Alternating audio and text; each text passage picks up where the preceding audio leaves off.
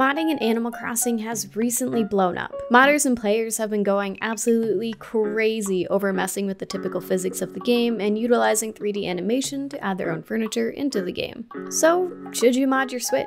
Is all the effort that you have to go through worth your time and money? Not everyone's Switch can be modded. You have to have a, a, pretty old Switch that Nintendo hasn't patched, which means if you didn't buy a Switch somewhat close to launch, you'll probably have to go find one which can be found easily, but mm, they aren't cheap.